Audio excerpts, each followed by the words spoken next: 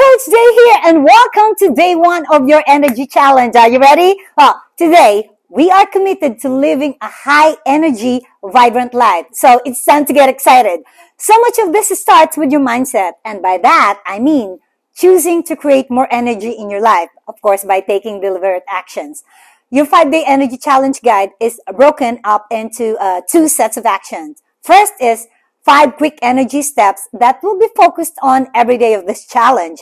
And the second one is five more build a bigger battery energy boosters that will work a long term to keep you feeling energized and create more stamina and endurance. So both are super important, but do not get overwhelmed for now. Just focus on the first big five, which is the five quick energy action steps. So with that being said, today's action challenge is First, be sure to read today's email about how being active, not just the workout, okay, can help you create more energy every day.